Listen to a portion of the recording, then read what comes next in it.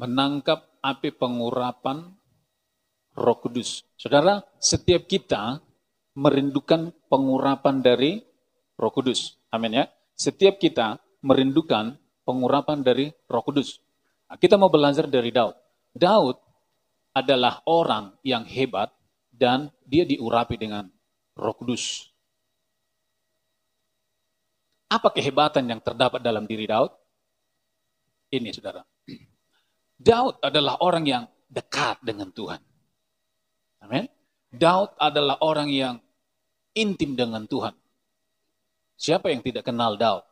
Daud terkenal dengan penyembahannya. Dia orang yang suka menyembah Tuhan.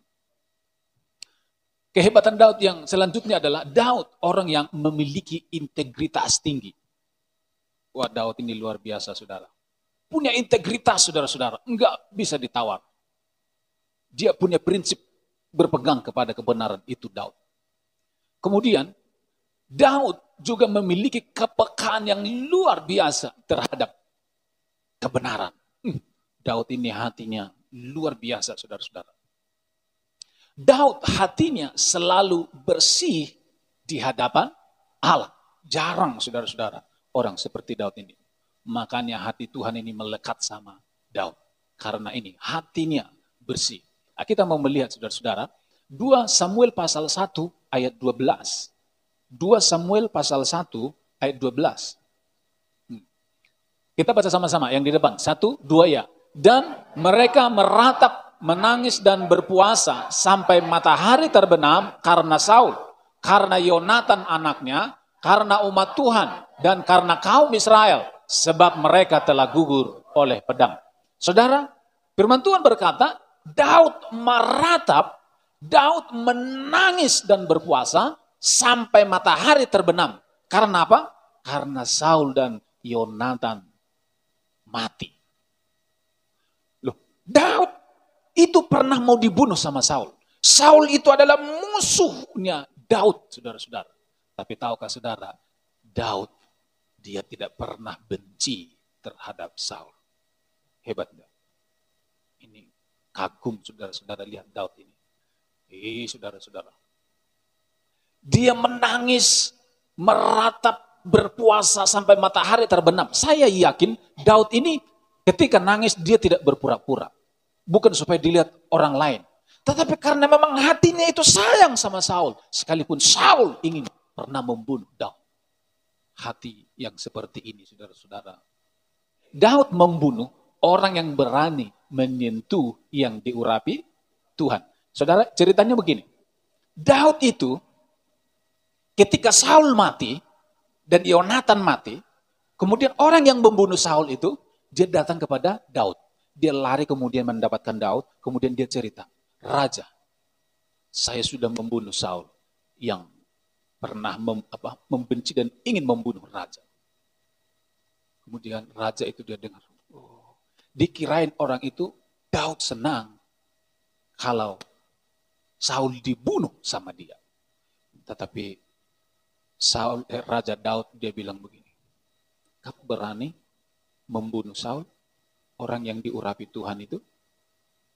Saya beberapa kali Tuhan kasih kesempatan untuk saya membunuh dia. Saya tidak pernah berani membunuh Saul. Karena Saul adalah orang yang diurapi Tuhan. Siapa berani menyentuh orang yang diurapi Tuhan, pasti dia akan berurusan sama Tuhan. Itu sebabnya saya tidak pernah berani berurusan dengan Saul, sekalipun Saul melakukan kesalahan. Kamu berani, sekarang kamu berurusan dengan aku. Kamu membunuh Saul, sekarang kamu akan saya bunuh di sini. Kemudian dia bunuh. Hebat, saudara.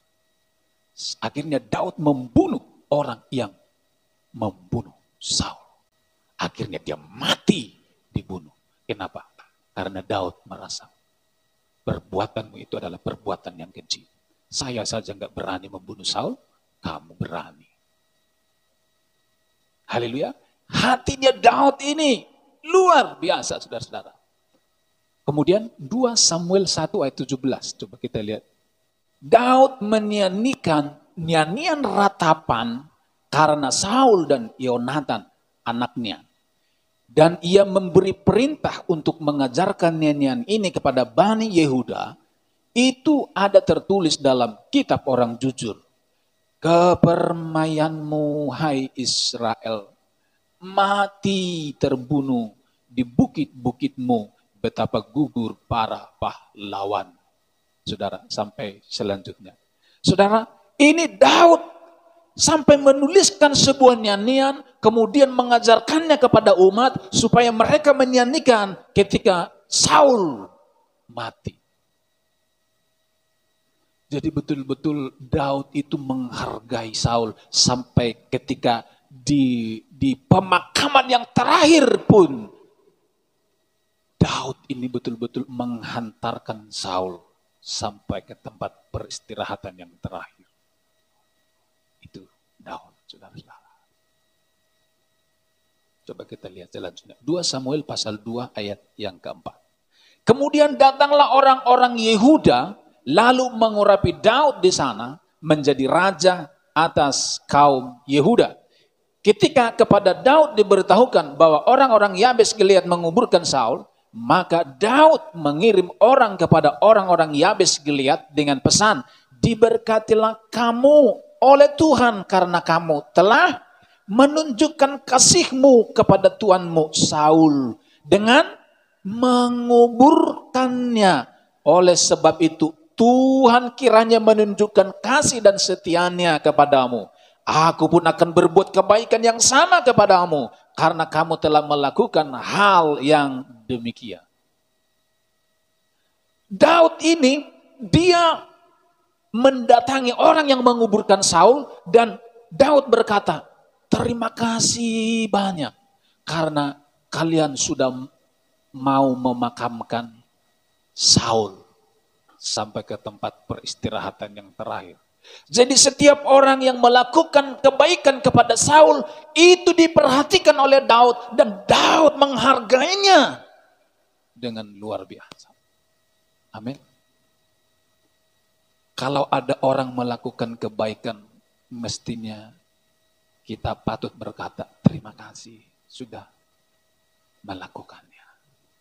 Amin. Kalau ada orang yang meninggal di antara kita, sesama jemaat, kita datang melayan. Jangan mengurung diri di rumah masing-masing. Amin. Mengucapkan turut berbelasungkawa paling tidak datang berkunjung ke rumah duka atau ke pemakaman. Karena itu perbuatan yang baik Daud menghargai orang yang melakukan kebaikan terhadap Saul. Amin, saudara-saudara. Kita belajar dari Daud ini. 2 Samuel pasal yang ke-9 ayat yang kelima. Sesudah itu, Raja Daud menyuruh mengambil dia dari rumah Makir bin Amiel dari Lodebar dan Mephiboset bin Yonatan bin Saul masuk menghadap Daud dan sujud dan menyembah. Kata Daud, Mephiboset, jawabnya, inilah hamba tuanku. Kemudian berkatalah Daud kepadanya, jangan takut, sebab aku pasti akan menunjukkan kasihku kepadamu oleh karena Yonatan ayahmu. Aku akan mengembalikan kepadamu segala ladang Saul, nenekmu, dan engkau akan tetap makan sehidangan dengan aku. Lalu sujudlah Boset dan berkata, apakah hambamu ini sehingga engkau menghiraukan anjing mati seperti aku? Lalu raja memanggil Ziba, hamba Saul itu, dan berkata kepadanya, segala sesuatu yang adalah milik Saul dan milik seluruh keluarganya, kuberikan kepada cucu tuanmu itu, yaitu Mepi Boset. Engkau harus mengerjakan tanah baginya. Bagi siapa? Bagi Mepi Boset. Siapa yang mengerjakan? Hambanya Saul. Engkau, anak-anakmu, dan hamba-hambamu, dan harus membawa masuk tuayannya, supaya cucu tuanmu, tuanmu Saul itu ada makanannya. Mepi Boset, cucu tuanmu itu akan tetap makan sehidangan dengan aku, Jiba mempunyai 15 orang anak laki-laki dan 20 orang hamba. Berkatalah Jiba kepada raja, hambamu ini akan melakukan seperti yang diperintahkan Tuanku Raja kepadanya. Dan Mephiboset makan sehidangan dengan Daud sebagai salah seorang anak raja. Mephiboset mempunyai seorang anak laki-laki yang kecil yang bernama Mika. Semua orang yang diam di rumah jiwa adalah hamba-hamba Mephiboset. Demikianlah Mephiboset diam di Yerusalem sebab ia tetap makan sehidangan dengan raja adapun kedua kakinya timpa. Mephiboset itu anaknya Yonatan, Yonatan itu anaknya Daud, jadi anaknya Saul. Jadi Mephiboset itu cucunya Saul, saudara-saudara. Dia cacat, dia timpang, dia tidak bisa bekerja, saudara-saudara. Tapi dia bisa punya anak. Bagus nggak? Dia nggak bisa bekerja, tapi dia bisa punya anak. Banyak orang bisa punya anak, tapi tidak bisa bekerja menghidupi anak. Tapi ini Mephiboset ini dia tidak bisa bekerja, tapi dia bisa punya anak. Saudara. Kenapa saudara-saudara? Karena jasanya Yonatan dan Saul. Enak nggak seperti Mephiboset? Kamu di sini saja Mephiboset, kamu makan tidur, makan tidur, semua kamu dilayani, tinggal nikmati saja. Itu karena jasa dari bapaknya. Karena Yonatan itu dulu sahabat dekatnya Daud. Ketika Daud ingin dibunuh oleh Saul, Yonatan itu yang selalu mencarikan solusi kepada Daud. Ketika Saul ingin membunuh Daud, Yonatan yang kasih tahu, eh Daud jangan di situ. Nanti papaku akan datang ke situ mencari kamu. Kamu lari ke sana supaya kamu nggak ketemu. Nanti kalau saya di sana nanti saya kasih kode dari sini. Kalau saya kasih kode, berarti kamu langsung lari supaya kamu tidak ditangkap. Yonatan itu sahabatnya Daud. Itu sebabnya Daud ini merasa berhutang budi kepada anaknya Yonatan yaitu Mephiboset. Makan saja kamu kerjanya. Punya anak. Saudara-saudara, Mephiboset. Luar biasa. Haleluya. Dia ingat jasa ini Daud luar biasa, saudara-saudara. Amin. Namun, namun orang yang hebat dan diurapi roh kudus seperti Daud bisa jatuh dan hancur hidupnya jika tidak berhati-hati. Kita baca sekali lagi sama-sama. Satu, dua, iya. Namun, orang yang hebat dan diurapi roh kudus bisa jatuh dan hancur hidupnya jika tidak berhati-hati. 2 Samuel pasal 11 ayat 1, 27. Pada pergantian tahun pada waktu raja-raja biasanya maju berperang, maka Daud menyuruh Yoab maju beserta orang-orangnya dan seluruh orang Israel. Mereka memusnahkan Bani Amon dan mengepung kota Raba. Sedang Daud sendiri tinggal di mana? Daud tinggal di Yerusalem. Sementara peperangan sedang terjadi di sana. Sekali peristiwa pada waktu petang ketika Daud bangun dari tempat pemberingannya, lalu berjalan-jalan di atas soto istana, tampak kepadanya dari atas soto itu seorang perempuan sedang mandi. Perempuan itu sangat elok rupanya. Lalu Daud menyuruh orang bertanya tentang perempuan itu dan orang berkata itu adalah Batsyeba binti Eliam istri Uria orang Het itu. Kenapa Daud menyuruh bertanya tentang perempuan itu? Karena elok rupanya dan sudah sempat terlihat oleh Daud dan terbayang di pikirannya dan terbayang di pikirannya kemudian muncullah nafsu birahinya saudara-saudara. Kemudian ayat yang keempat, sesudah itu Daud menyuruh orang mengambil dia. Ini bahaya saudara-saudara. Setelah dibayangkan, sudah dimulai dari melihat, kemudian dibayangkan, dihayalkan, kemudian mulai dia suruh orang Kemudian saudara-saudara ambil dia ke sini. Dimulai dari mata. Hati-hati gunakan matamu. Amin. Bilang sama sebelahnya, hati-hati gunakan. Berbahagialah orang yang tidak bisa melihat. Karena godaannya berkurang. Ayat yang 4. Sesudah itu Daud menyuruh orang mengambil dia. Perempuan itu datang kepadanya. Lalu Daud Daud tidur dengan dia. Tercapai juga. Tercapai juga, saudara-saudara. Ini yang dibayangkan oleh Daud. Ketika dia lihat, dibayangkan, direnungkan, dan goalnya adalah harus terjadi. Untuk jatuh dalam dosa itu nggak mungkin tiba-tiba. Amin. Tidak ada orang jatuh dalam dosa tiba-tiba. Untuk jatuh dalam dosa itu ada tahap-tahapnya.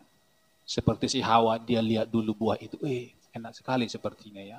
Kemudian setan datang, iya enak itu, ambil saja nggak apa-apa. Kemudian dia mendekat, kemudian ambil nggak ya, ambil nggak ya. Enak kalau kamu nggak ambil, menyesal kau nanti. Iya, kemudian di dekat, ambil nggak ya. Tadi tangannya begini saudara. Kemudian ambil apa enggak ya? Ambil. Enak, menyesal kau nanti katanya. Kemudian, kemudian diulurkan, eh, dosa apa enggak? Dosa. Menyesal kau nanti. Akhirnya udahlah habis pun aku tidak peduli. Dia ambil saudara-saudara. Setelah itu saudara baru dia sadar. Dia menyesal. Memang penyesalan itu selalu terlambat. Haleluya. Oh Tuhan menjauhkan kita dari perkara-perkara begini. Haleluya. Untuk jatuh dalam dosa ini tidak langsung, butuh proses, butuh proses, butuh tahap-tahapnya. Ketika engkau sedang ada di dalam tahap-tahap itu, belum di goalnya, mestinya engkau lari ke gereja. Engkau lari kepada orang yang kira-kira bisa menolong. Kalau enggak, engkau akan pasti akan sampai kepada goalnya, jatuh. Amin. Anak-anak muda juga begitu. Kita butuh orang tempat berbagi, mentor, apa penjaga. Kita perlu orang di sekitar kita untuk menjaga kita. Kalau enggak, habis dah babak belur, saudara-saudara. Kalau sudah jatuh, tidak bisa kembali lagi. Sama seperti piring, kalau sudah jatuh pecah, nggak bisa kembali seperti piring yang semula. Pasti sudah retak. Kaca, cermin, kalau sudah jatuh, apa disatukan lagi, udah nggak bisa lihat wajah di situ. Jangan sampai jatuh. Amin. Daud, coba bayangkan kalau ada orang yang menasihati Daud. Eh Daud, Daud jangan sadar Daud, sadar. Sadar ada Tuhan. Tapi mungkin orang semua takut sama Daud. Dan mungkin juga orang berpikir, Daud itu memang di, diurapi Tuhan. Di orang yang kudus dekat sama Tuhan. Enggak mungkin dia jatuh. Kata siapa? Tidak ada orang yang kebal terhadap dosa. Amin. Tidak ada orang yang kebal terhadap dosa. Siapa yang lebih ada orang yang lebih hebat dari Daud? Daud itu hebat, saudara-saudara. Tetapi bisa jatuh. Kenapa? Tidak hati-hati. Amin.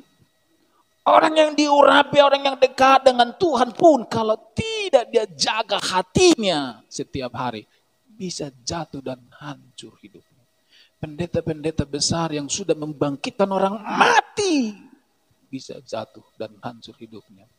Tidak ada orang yang kebal terhadap dosa. Jaga hatimu. Itu sebabnya perlu menjaga setiap hari. Amin. Ayat yang kelima.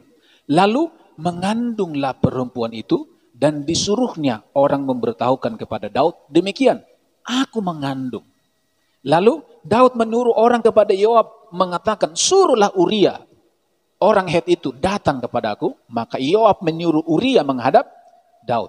Ketika Uria masuk menghadap dia, bertanyalah Daud tentang keadaan Yoab dan tentara dan keadaan perang. Kemudian berkatalah Daud kepada Uria, pergilah ke rumahmu dan basuhlah kakimu. Ketika Uria keluar dari istana, maka orang menyusul dia dengan membawa hadiah raja. Tetapi Uria membaringkan diri di depan pintu istana bersama-sama hamba tuannya dan tidak pergi ke rumahnya. Diberitahukan kepada Daud demikian, Uria tidak pergi ke rumahnya. Lalu berkatalah Daud kepada Uria, bukankah engkau baru pulang dari perjalanan? Mengapa engkau tidak pergi ke rumahmu? Tetapi Uria berkata kepada Daud, tabut serta orang Israel dan orang Yehuda diam dalam pondok. Juga tuanku Yoab dan hamba-hamba tuanku sendiri berkemah di padang. Masa kan aku pulang ke rumahku untuk makan minum dan tidur dengan istriku? Demi hidupmu dan demi nyawamu, aku tidak akan melakukan hal itu. Kata Daud kepada Uria, tinggallah hari ini di sini, besok aku akan melepas engkau pergi. Jadi Uria tinggal di Yerusalem pada hari itu. Keesokan harinya, Daud memanggil Uria untuk makan dan minum dengan dia. Dan Daud membuatnya mabuk. Hmm, sudah ke tahap berikutnya, saudara-saudara. Pada waktu malam keluarlah Uria untuk berbaring tidur di tempat tidurnya bersama-sama hamba-hamba tuannya. Ia tidak pergi ke rumahnya.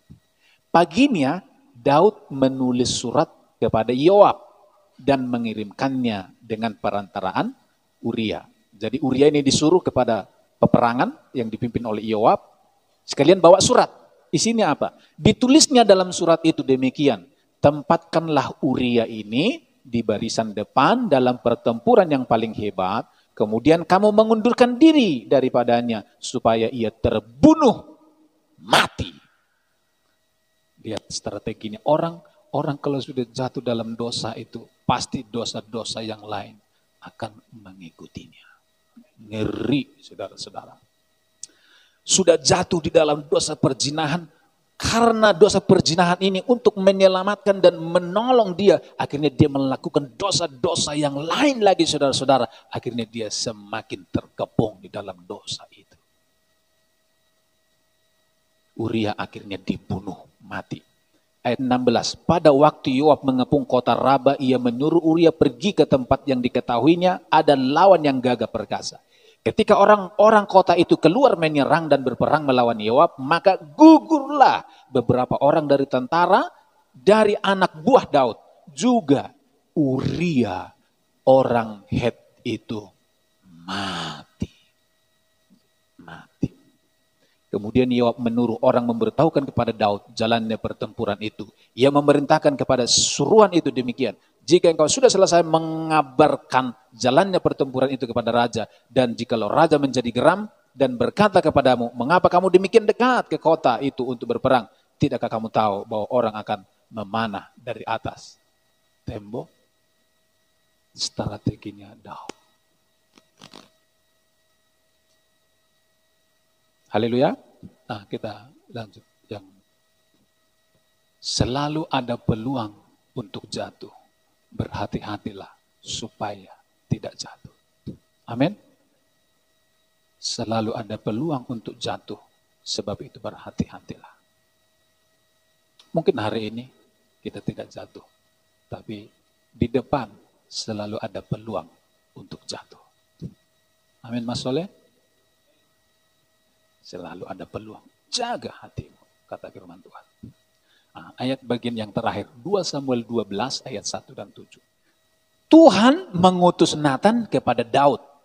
Ia datang kepada Daud dan berkata kepadanya, ada dua orang dalam suatu kota, yang seorang kaya, yang lain miskin.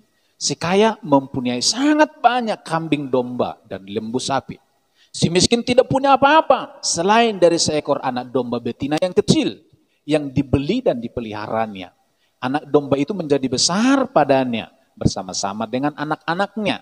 Makan dari makan dari suapnya dan minum dari pialanya dan tidur di pangkuannya seperti seorang anak perempuan baginya.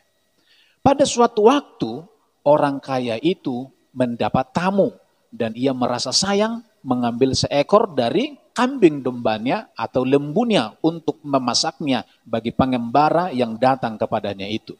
Jadi ia mengambil anak domba betina kepunyaan si miskin itu dan memasaknya bagi orang yang datang kepadanya itu. Lalu Daud menjadi sangat marah mendengar cerita itu, saudara. Karena orang itu dan ia berkata kepada Nathan, demi Tuhan yang hidup, Orang yang melakukan itu harus dihukum mati. Ayat ini eh, ke-6. Dan anak domba betina itu harus dibayar gantinya empat kali lipat. Karena ia telah melakukan hal itu dan oleh karena ia tidak kenal belas kasihan. Kemudian berkatalah Nathan kepada Daud, Engkaulah orang itu. Beginilah firman Tuhan Allah Israel. Aku yang mengurapi engkau menjadi raja atas Israel. Dan aku yang melepaskan engkau dari tangan Saul. Telah kuberikan isi rumah Tuhanmu kepadamu. Dan istri-istri Tuhanmu ke dalam pangkuanmu. Aku telah memberikan kepadamu kaum Israel dan Yehuda. Dan seandainya itu belum cukup. Tentu ku tambah lagi ini dan itu kepadamu. Mengapa engkau menghina Tuhan dengan melakukan apa yang jahat di matanya? Ketika Daud mendengar ceritanya Nabi Nathan, Daud tidak tahu bahwa itu menggambarkan dirinya. Dengar cerita itu, Daud dia jadi marah dan jengkel. Orang kaya itu jahat, itu harus dihukum mati. Dia harus membayar berkali lipat itu. Kemudian Nathan bilang, kamulah orangnya. Tuhan sedang menegur Daud bahwa dia sedang melakukan kejahatan di mata Tuhan. Sama seperti si orang kaya itu. Daud seperti orang kaya, si Betsyeba, si Uria itu seperti orang miskin. Mentang-mentang dia raja, kemudian Uria itu anak buahnya, dia bisa melakukan apa yang dia mau, itu keji di mata Tuhan. Walaupun mentang-mentang punya bintang dua, di sini saudara-saudara bukan berarti nyawa tidak berharga. Nyawa tetap mahal harganya di mata Tuhan. Amin. Kemudian Tuhan berkata kepada Daud, saya sudah angkat kamu, saya sudah berkati kamu, semua saya sudah berikan kepadamu. Kalau itu belum cukup, saya tambah lagi. Apa yang kamu minta aku beri? Tapi kenapa kamu sampai harus melakukan hal yang kecil ini? Ngeri, Tuhan kecewa. Haleluya. Jangan sampai ketika Tuhan membawa kita naik, yang tadinya miskin gak punya apa-apa, kemudian ditambahkan Tuhan satu, ditambahkan Tuhan satu, ditambahkan kita mulai berhasil, kita mulai punya mobil, punya rumah, punya tanah, punya emas, punya macam-macam saudara-saudara. Kemudian kita sudah merasa di atas kemudian kita melakukan apa yang tidak diinginkan oleh Tuhan. Tuhan mau kita tetap merendah seperti tidak punya apa-apa. Amin. Kaulah segalanya. Walaupun kita punya segalanya, tapi kita harus berkata, aku tidak punya segalanya. Sebab you are everything for me. Amen. Katakan dulu, Jesus is everything for me. Amin. Apa itu belum cukup? Sehingga engkau aneh-aneh. Saudara jangan aneh-aneh, amin. Bilang sama sebelahmu, jangan aneh-aneh, bilang. Cukup itu, bilang. Haleluya. Yang punya pasangan bilang, saya tidak mau aneh lagi, bilang. Kamu cukup bagiku. Tidak akan ke mana-mana. Selain dirimu. Haleluya. Kita baca yang terakhir. Jagalah hati, sebab dari hati terpancar kehidupan. Tangkaplah api pengurapan roh kudus. Untuk memampukan kita hidup dalam kebenaran dan menjadi saksinya. Kita bangkit berdiri bersama.